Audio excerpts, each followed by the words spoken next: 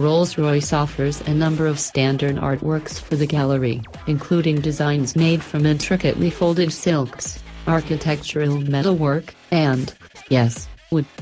Customers wanting something unique behind the glass can work with Rolls-Royce experts while commissioning their cars to ensure the materials meet durability requirements.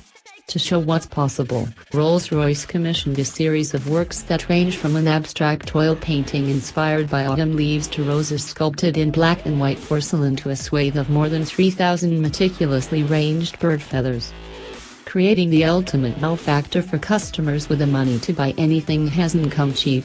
In addition to the investment in designing and engineering the gallery, money has also been spent on an expensive new clean room, similar to that in which microchips are made to ensure no dust or condensation can form on the inside of the glass once the dash unit has been assembled and sealed.